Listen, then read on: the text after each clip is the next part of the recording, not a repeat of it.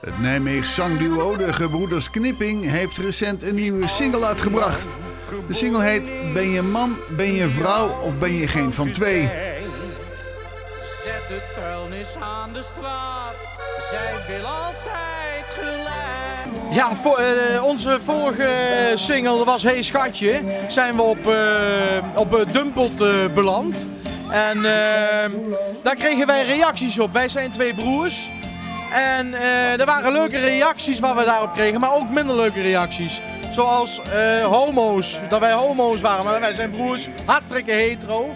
Maar wij eh, kregen toen wel het gevoel, ja, wat die mensen voelen. Door, doordat ze ons uitscholden voor homo's. Met hun nieuwe single wil het duo aandacht vragen voor mensen die zich niet herkennen in de stereotype man of vrouw. Ik heb zelf in de familie, heb ik, eh, dus van de vrouwse kant, hebben we een, eh, een nichtje, zeg maar. Dat was ooit een nichtje.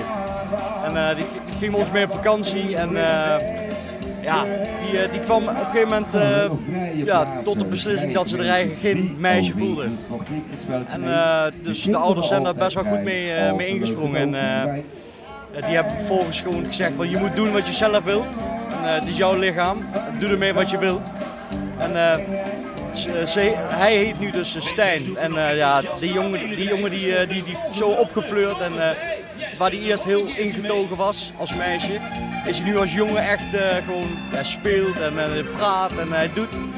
Ja, dat, ja, dat vind, ik, vind ik wel mooi en daarom ook dit lied. Eh, ook een beetje naar eh, hem toe, Stijn heet hij. En eh, ja, vonden wij erg belangrijk. En daarmee de LHBT-gemeenschap een hart onder de riem steken. we kunnen het beter zingen, denk ik.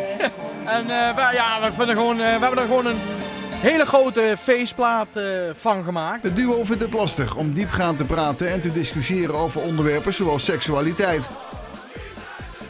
Omdat het een hele grote, een hele, hele grote feestplaat is met een, met een hele belangrijke boodschap.